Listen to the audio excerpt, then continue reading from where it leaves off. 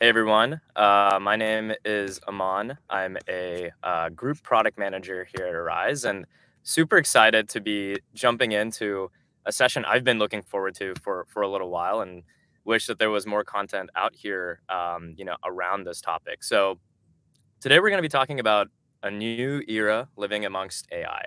Um, we're going to be discussing the implications of using generative AI in our daily lives. And it's funny, we, we actually, all four of us met about a month ago um, to sort of discuss, you know, what, what would we be talking about in the panel? What, what should some of our topics be? And we realized that the world would probably change so much in the next one month that we decided to just sort of toss all those questions and try to come with something, uh, you know, to try and just make it organic in, in this session. So, um, so without kind of further ado, uh, we're going to be kind of discussing how we gener- how does generative AI integrate into society? What safeguards are there to build fair, responsible, uh, effective AI and models? Um, and with us today, I'm super excited to uh, introduce some of the experts in the field. Um, so uh, actually, they'll be introducing themselves. So we'll start with our panelists. And Anna, if you want to go first with just a self-introduction. Wonderful. Thank you so much for the invitation. I'm very happy to be here. Uh, my name is Anna Danes, and I'm, uh, believe it or not, an AI ethicist. so that's that is a job, and uh, there are companies uh, using uh, us. Uh, in practice, what that means is that a company that's developing AI has their processes, and what we do is we add a layer of ethics in the entire process to make sure that the development is the way that the, the company wants it to be in terms of responsible AI, in terms of uh, how is it going to be adopted by the society. Uh, it evaluates possible harms and risks, etc. So that's in a nutshell what I do.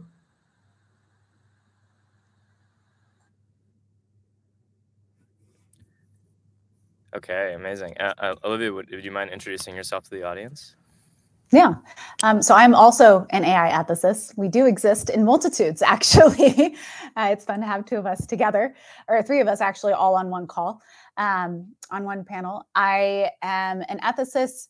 Uh, specifically, I focus on using ethics as a tool for innovation. So, looking at how to use ethics as this decision making tool, either in risk mitigation or around designing for values. Uh, I really specialize more on the innovation and value design. Um, and I specialize specifically on the operations and strategic side to responsible AI. So there's a couple different layers of us within here. Uh, sometimes you'll get ethicists that focus more on the technical components. I really look at how do we operationally um, realize our values within our work? How do we make sure that the that the teams are there's a, a, a strong culture built around ethics and teams are properly educated to be able to carry out the decisions we're making around our tech. Um, I also wear a second hat as an entrepreneur. Uh, I'm the founder of a company called Ethical Intelligence. We are an AI ethics advisory firm, and uh, we do something called ethics as a service. Sounds wow. super important. Yeah. Um, yeah, go ahead, Jen. I'm Jen Riggins, JK Riggins on the socials, which keep changing of which one we're supposed to be in in tech right now. And we all know which one we're not supposed to be in, but it's still the remaining one. Uh, I am the least educated person in the room right now, even though it's online, uh, in the virtual room. I am a tech journalist or culture side of tech storyteller. I don't tech uh, I write about tech, and I think that's important because when these things we're interacting with and we're building and we're doing are inside our bodies, our homes, our cars, our work, everywhere, we all need to be able to understand it. So I think we need more tech translators, despite the fact that uh, some studies have come out this week that suggest that my job will be 90% AI in the next two years. Um, and I think everyone needs to understand it and be able to talk about tech and everything. And ironically, over lunch day, I was called by a tech bro a fearmonger. So we'll see if anyone in the audience also believes I am one later on. That's a great, uh, just a great note to drop to the audience. We are taking comments. Uh, please feel free to drop any any uh, any interesting questions that you feel would provoke thoughtful discussion uh, to the to our panelists here, um, and, uh, and and of course we will be following up in the community Slack channel afterwards. Um, but thank you all for for those uh, introductions. I think it's going to be very clear as we get further, you know, how relevant it is for people to start thinking about, um, you know, the, the the sort of work you folks are putting out there um, when they're, you know, primarily a lot of our audience is looking at deploying generative AI or deploying machine learning at their own enterprises. And, and so I think that some of this, the, the discussion will be around, you know, what, what are some of the things to think about before, before running into that. Um, I, th- I, think it might um, make sense to just start off really quick with some definitions. Um, you know, um, uh, Olivia, you mentioned, um, you know, ethical AI, AI ethicists. Like, what, what does that, what does that mean? um, in a uh, sort of in, in, the context of uh, generative AI? Yeah, so it pretty much means the same as an ethicist in AI in general. It's just a new technology that we're looking, well, a new model that we're looking at. There are, of course, um, different angles, different I like to call them like little cubby holes that we're looking in, in terms of, well, where, where's the risk hidden within here? Um, as the technology rolls out, what we're able to do as ethicists is actually look and categorize at the different types of risks that are associated with this technology. So, what to immediately look for um, as, say, our immediate defaults for example, we already know that there is a bias inherent in the language models and the data that's been processed. So we know immediately to look there, for one example. Um, but also as the technology rolls out further and we engage more and more with clients on basis of, well, what, what are the implications of using generative AI? We're able to understand on a larger basis uh, the opportunities and the larger risks at stake um, within generative AI. What it means actually for an AI ethicist, though, uh, we're essentially, as Anna said before, um, we translate these high level abstract values into practical action. So you are coming to your ethicist and you're asking specific contextualized questions. Um, what I try and tell people is if you come to me and ask, what should I be afraid of for generative AI? You're not going to get an answer that you like because all I can give you is very general statements of, well, you should you should you know worry about some privacy risks like don't put personal information into chat gpt uh, you should worry about mm, educational risks like students cheating on exams and teachers having to figure out how to deal with that. Like you got all these general ones that i can tell you it's not going to help you. But if you come to me instead and you say hi i am trying to build um, an interactive chatbot for clinicians to be able to help diagnose patients using ChatGPT in a B2B model, I can sit there and I can say, okay, here you have X, Y, and Z challenges that you're going to be up against. Here are the specific safeguards you're going to need to put in place.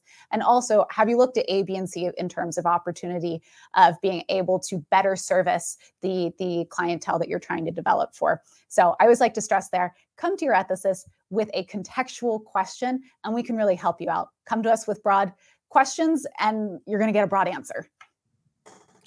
Yeah, that makes a ton of sense. And I think uh, that that's a that's a great sort of segue into um, Anna, like you know, Olivia brings up this example of bringing contextual uh, problems and uh, kind kind of contextual applications of um, AI and even generative just being a technology or an offshoot of that.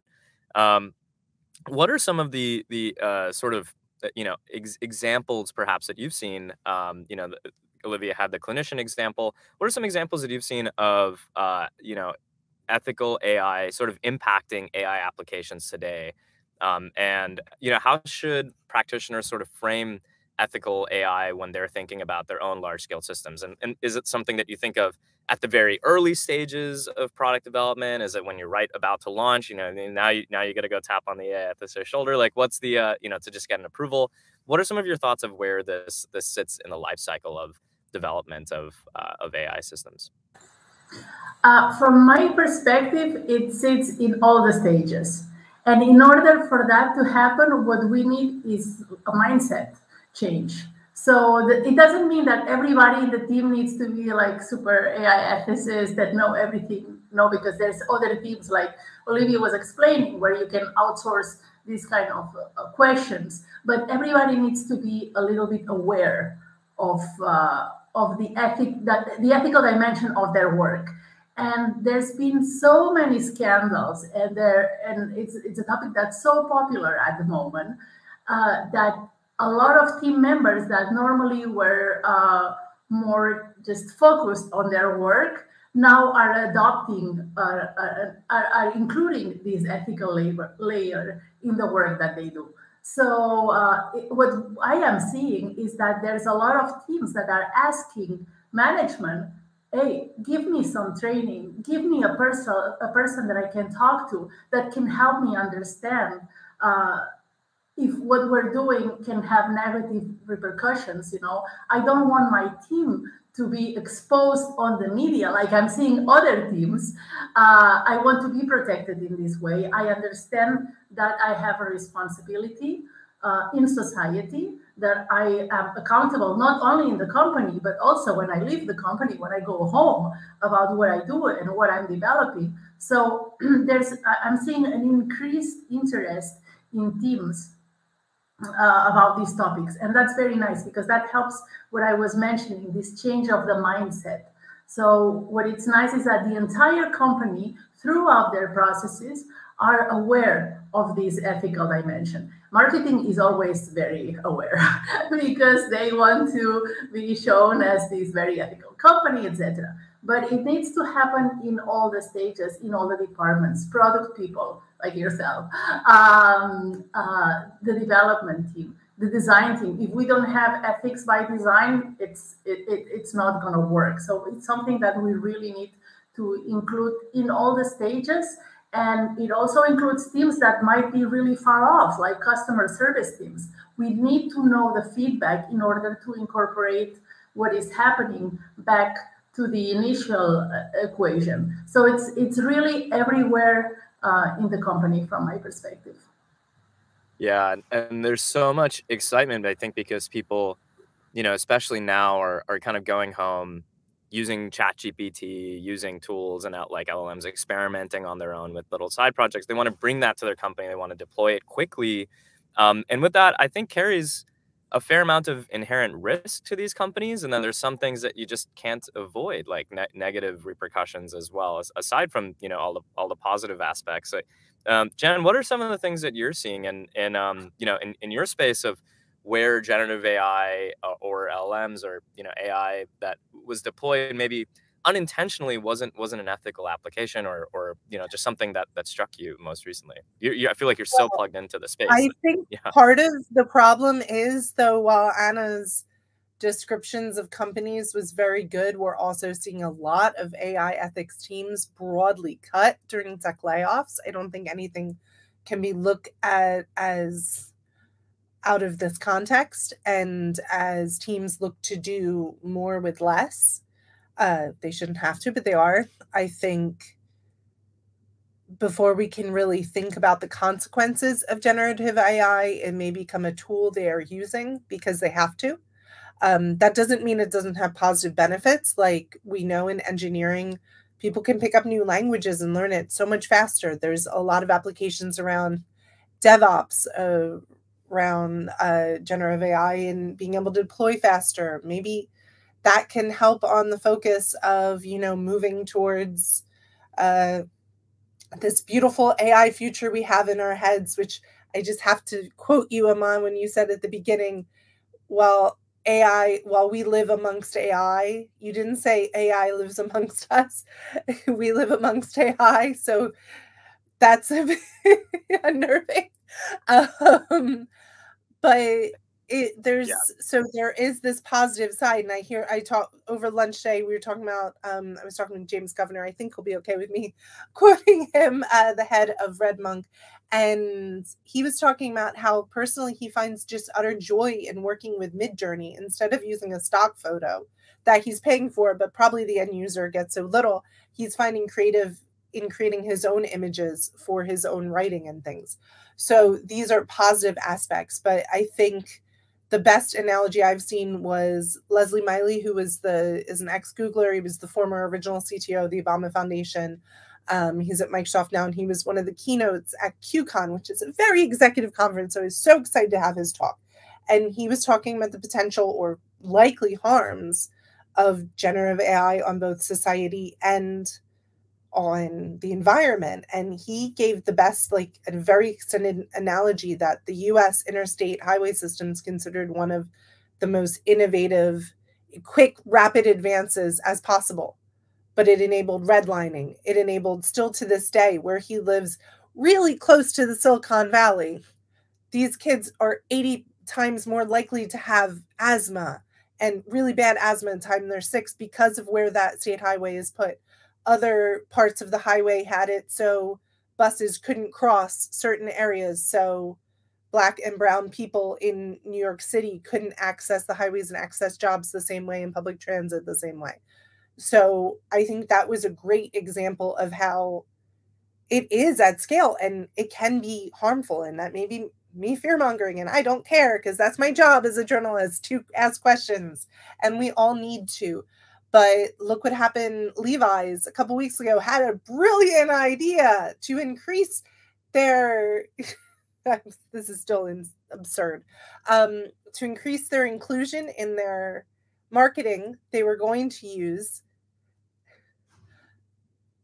AI generated models. And I do need models as in the physical person, which, yes, that's a tricky word in that sense. Instead of hiring black and brown models, they're going to use what was without their permission the internet trained on these models. Their work are now used to make new fake models instead of giving them work and also their images are used to train so they're losing money in both directions. And also since we know with tiktok with its new filters it's making everybody whiter.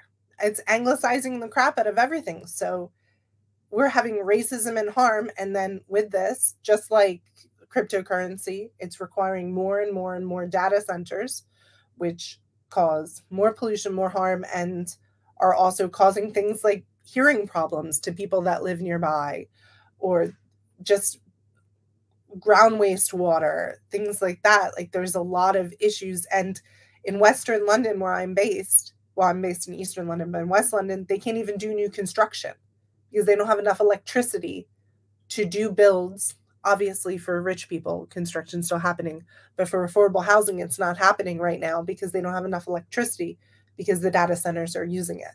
So maybe I'm fear mongering. Y'all let me know, audience.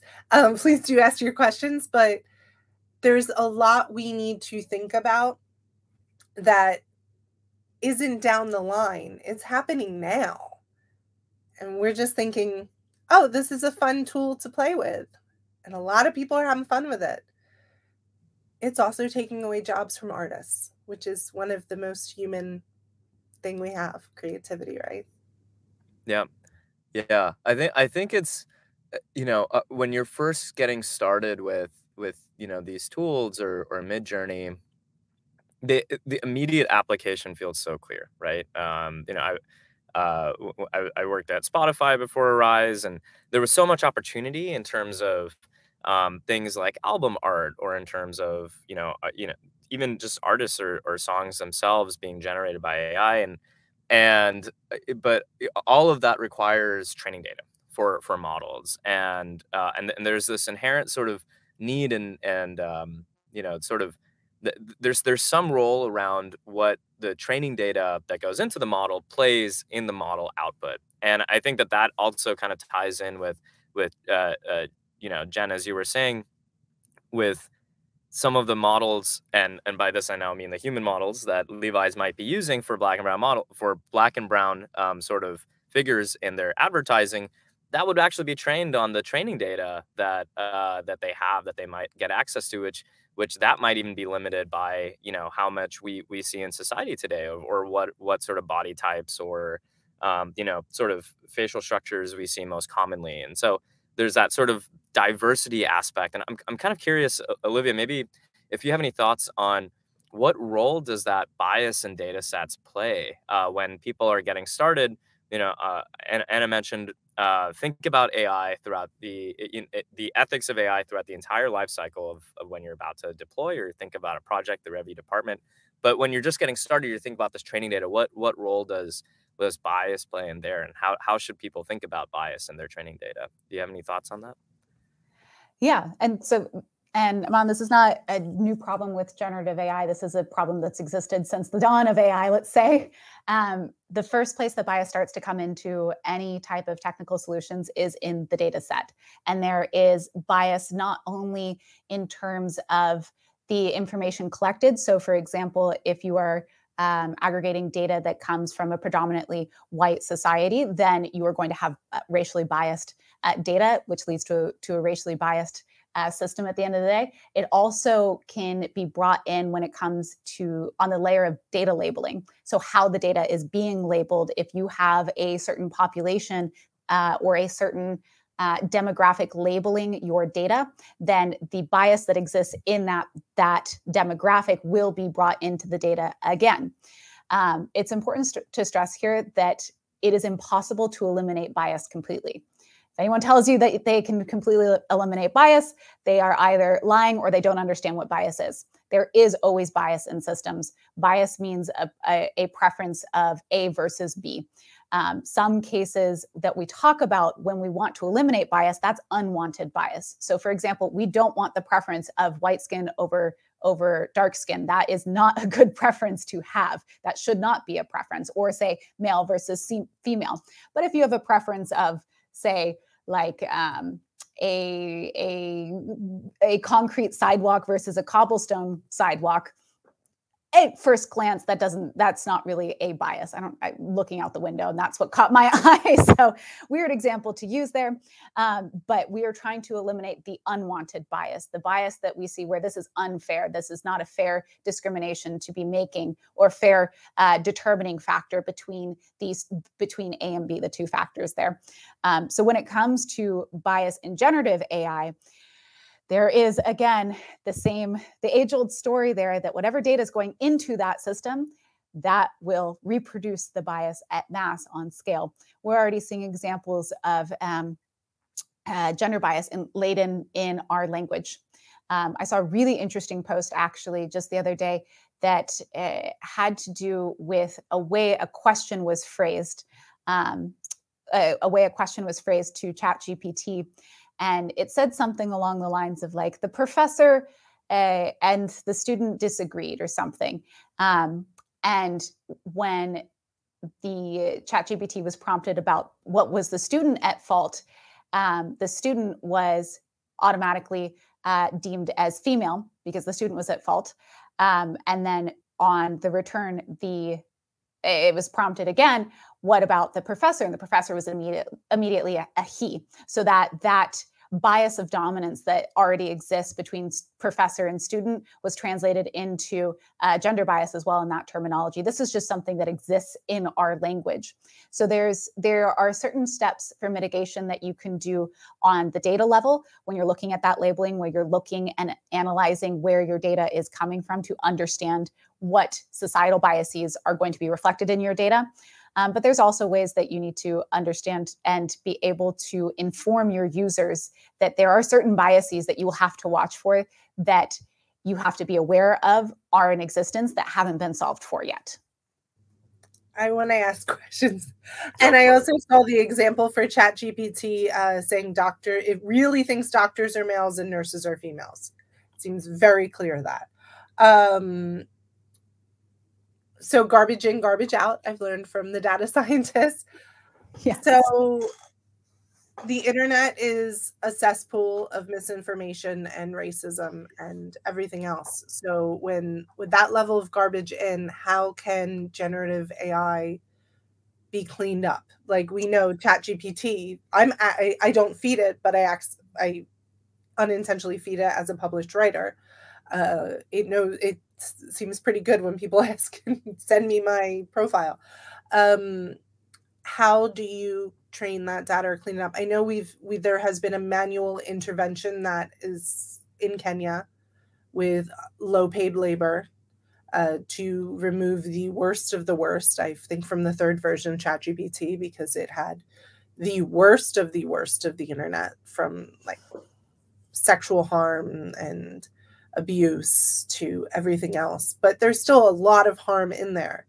So, how can that harm and that bias be removed when it's training on such a broad data set that is the internet, for lack yes. of a better word. If you train a system on the internet, quotes, um, if you train a system on the internet, there's no way that you can remove that. It's just it's too prevalent within within um, the information that's out there. Uh, we've seen this time and time again. You had uh, Tay released on Twitter years ago, and immediately within what 30 minutes, it turned into a Nazi because of the information that exists, because of the information that could be fed into it, you just can't control on that mass of scale. We have no filtering systems in place yet that are able or that have that capacity.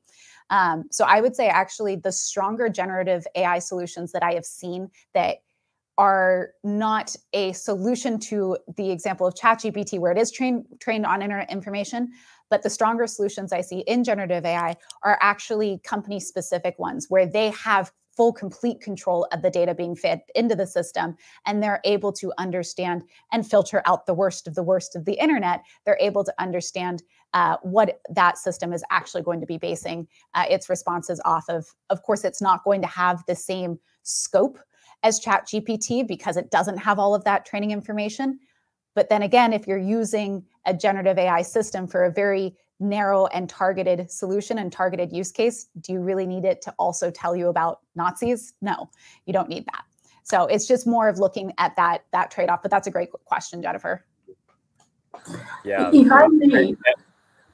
yeah, I, maybe as well, Anna. Just uh, it like maybe mm. what's the context for like a business leader watching this talk as well? Like how you know if you're the I, the the sort of engineer deploying the AI system, like Olivia is saying, um, and thinking about the data set, what what would you tell like a business leader as well? And feel free to build off of Olivia's point.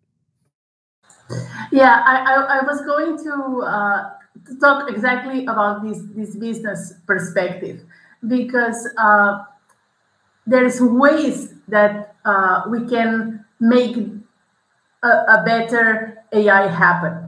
So of course there's regulations, and if you want, we can talk about those later. But there's two other uh, key components for me that are very important, and it's the consumers. One is the consumers, uh, B2C as individuals. We can do things, we can ask, we can push our governments, etc., etc.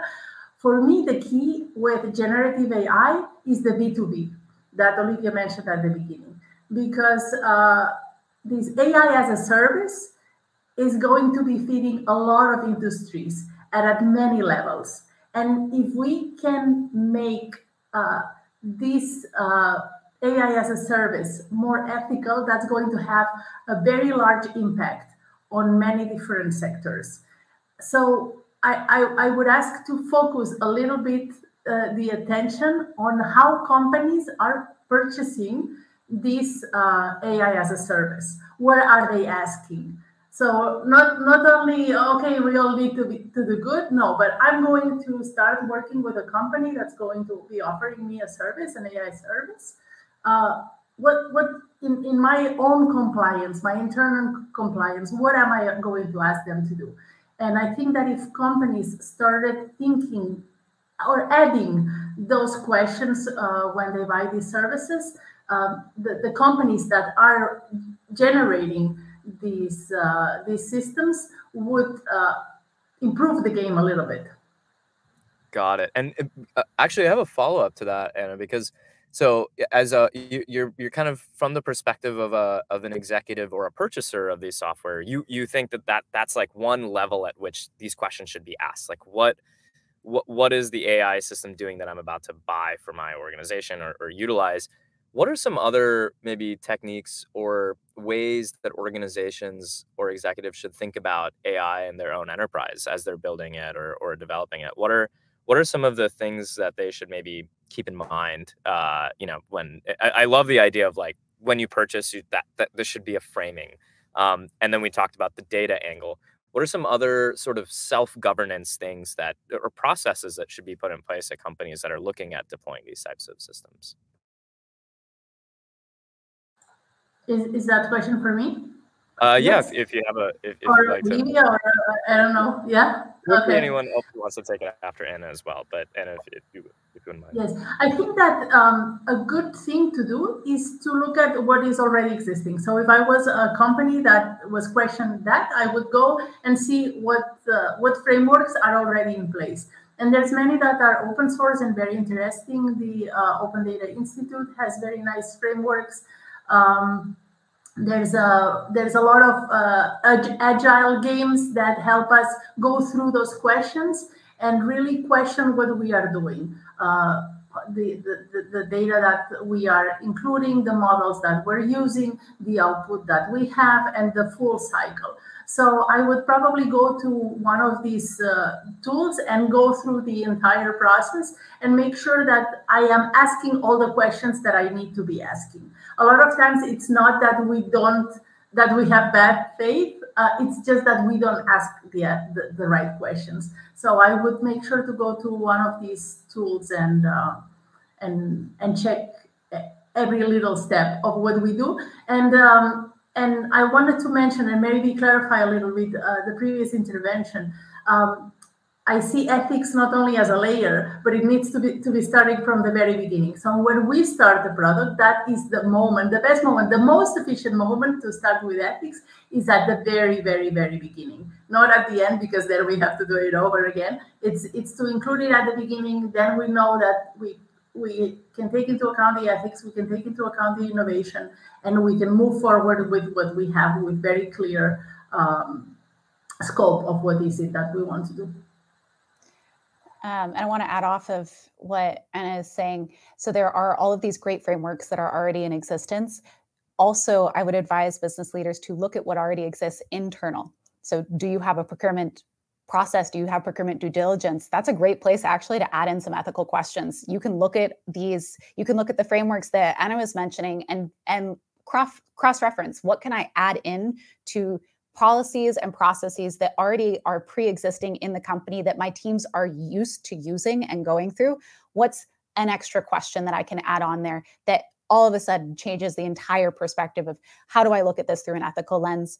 Um, another point since we're talking about data and data management look at your data science teams. Look at the workflow that they already go through in terms of the processing and management of that data again where can you add in the ethical questions that get your teams thinking about ethics? That's one of the easiest places to start. Um, it's also what I have seen the greatest success and return on investment for companies that look at what frameworks, what workflows do we already have, and how do we complement by bringing ethics into a system that's already in existence. We don't have to reinvent the wheel. There's processes already in place that we can improve. Mm-hmm. And I would add to that uh, just my favorite agile practice is consequence scanning, which is an open source one. You can just Google it out there. Uh, but it basically asks you to ask, always concentrate on three questions What are the intended and unintended consequences of this product or feature? What are the positive consequences? What are the consequences we want to mitigate? And always think of it at scale as it's growing. What if it scales to the size of Facebook? What are the consequences of that?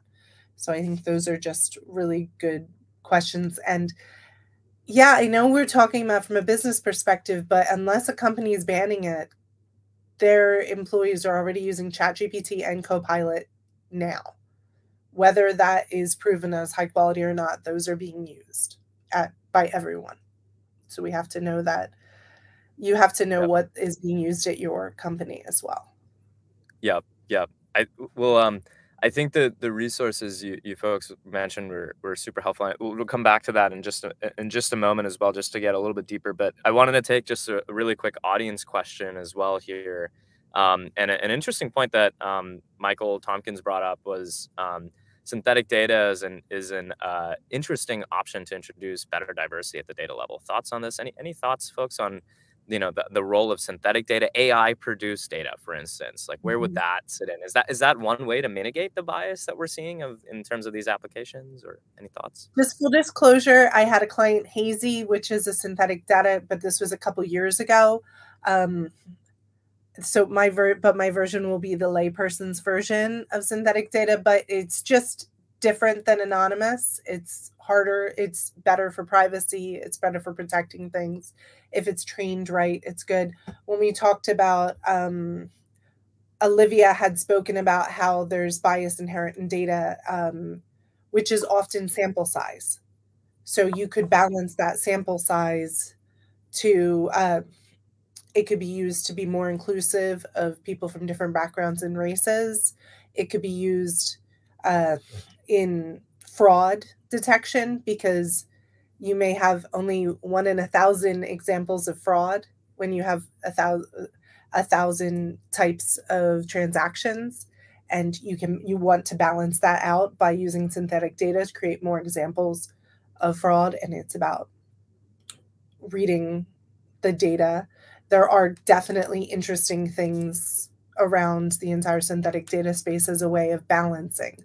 And i do agree with that. That is a way. I don't know how because it's been a couple of years since i worked it i don't know how adopted it is already I think y'all Anna and Olivia can answer better if it is something being more actively used now, synthetic data, because it is a way to balance bias. Yeah. Any any thoughts, uh, Anna Olivia? Feel free to um, you know kind of build on top of that. There's anything in, in terms of synthetic data that you've seen resonate at companies that you've worked with? I have seen synthetic data not being used as a as necessarily a bias mitigator, but definitely that privacy enabler. Um, it is a great alternative to being able to train models without uh, until the very last step, uh, being able to train models on what is essentially data that that is not connected to um, individuals. I have seen cases too of of companies using uh, generative AI for data fabrication. Um, the important thing to remember in this when you're using synthetic data is, uh, like Jennifer was saying, it's a great point where you can expand data sets when you're missing uh, different demographics or you're missing, um, uh, you need to expand sample size.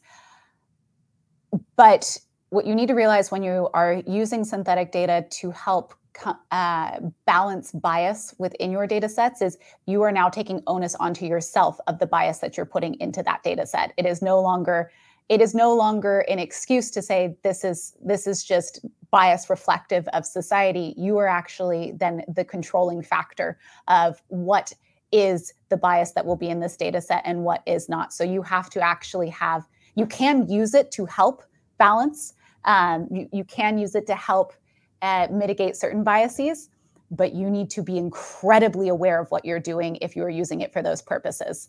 So it's yeah. a double-edged sword. so if you are using uh, somebody else's data set that is biased, a company is not responsible for that data set. If they're using a data set like if you're taking the onus to create synthetic data, you're responsible. But are you saying then that they're not responsible if they didn't create that data set? they're still responsible for for creating that data set but they are not the cause of the of the bias that is coming from that that existing data set. So like if you used an open source data set and there's bias in that, then you are still responsible that you did not check for that bias, but you are not the reason that data is biased. If you're using synthetic data, then you are the reason for that bias. And so you need to be incredibly careful there. That, that creates a lot of different uh, liabilities within mm-hmm. the data processing for you and your company. But great yeah. uh, clarifying question there, Jennifer. That's a great point. Yeah it's it's almost like how many tiers of risk or you know does your company want to take on? Like yeah using something off the shelf versus building something and putting it on the shelf feel different. Even with synthetic data i'm sure that there's that risk of bias from the data that's being produced synthetically. So you know it's almost like you know kind of propagating forward in in this chain. Um i, I i've really enjoyed this discussion. This has been uh super educational for me personally and, and i'm sure for our audience too. Maybe you know one one takeaway feeling i have is um, as we just sort of wrap up here with maybe everyone can share their sort of last thoughts on this um you know as as someone who might be trying to deploy um, AI at, at a company or a business leader that's being approached by an engineer that really wants to get these systems into production, what are some, you know, it, it feels like a daunting topic, that the ethics of AI and the responsibility to take on, but what are some ways to to get, you know, it, it, I think you folks have made it really approachable. What are some resources or you know starting points that you would kind of leave with folks that uh, you point them towards as they look to deploy these systems in, into production uh, maybe anna you can go first and we can kind of i'll just share maybe a, a top top of mind resource to you know, when when thinking about AI at at the enterprise level? First, I would say have a clear idea of what uh, principles you want to have. So, of course, there's the, the regulation of your country, there's a regulation of the market where you're going to be going that needs to be very, very clear. But also inside the company, have a clear idea of, of who you are, what values are important, and how you want to protect them.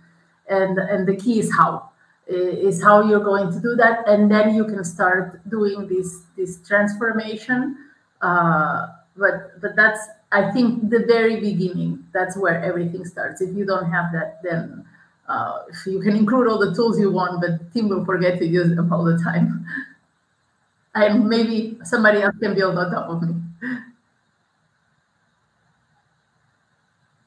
i guess i'll pick up next um, so one of the first resources that I can actually point you to towards. So um, the team and myself over at Ethical Intelligence, we have a quarterly publication that we specifically focus on uh, different either tech application, use case of AI, so forth, uh, the ethics of that that use case or that technology. This last issue, which we published yesterday, is actually generative AI and the ethics of generative AI. Um, I'll post it into the comments here, the link just here. Uh, it's a great resource. Um, it's highly curated. We did our utmost best to try and cover the basics when it comes to engaging in ethics and generative AI, at least to give readers a good, broad perspective of where they should be asking questions. Um, the second resource I would say is engage with an ethicist. That's probably the easiest thing to do is get an AI ethics advisor um, engage with someone. You can test it out, try it for a meeting, try it for a month. But there are people that specialize in this space, and the easiest way to start dipping your toes into meaningfully um, ethics beyond just a conversation and instead actually bringing ethics into action is to engage with someone with this skill set that can help guide you and the decisions that you're making. Um, to stress, an AI ethicist is not there to tell you that you're being a bad person or you're doing things wrong we're there to help support you in making better decisions around your technology. So I would say that is probably one of I, I, won't say it's better than the equation because the equation, this issue is actually a very good, very good issue. But those are two great resources to start with. Amazing. And then my first advice is very clear: don't fire ethics team. They're not an expendable thing. I know y'all are firing your diversity, equity, inclusion, ethics, accessibility teams. These are the patterns we're seeing. These are not expendable. Uh, if not, hire consultants to do it. That's a different budget, so you can different budget line, so you can do it that way. Um, I think organizations really need to set policies. Uh, again, your teams are using your marketing team is using Chat GPT. Your engineering team is using Copilot. You need to decide if they are of the quality you want them to be using them yet.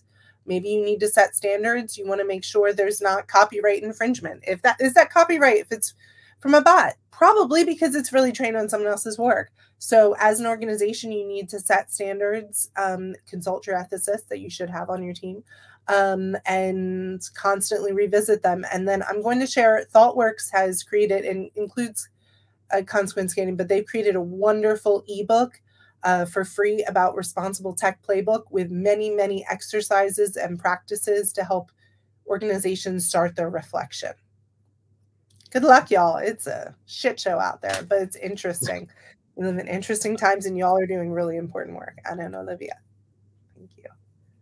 completely agree and i feel like that that is our that's our that's a wrap right there uh thanks everyone for your time i really appreciate all of it anna olivia and jen it's been a pleasure uh kind of moderating this conversation and hearing from you. And thanks for the resources. Um, if people have more questions, we'll be sticking around in the community Slack channel, but that's all the time we have right now. And um, thanks again, everyone.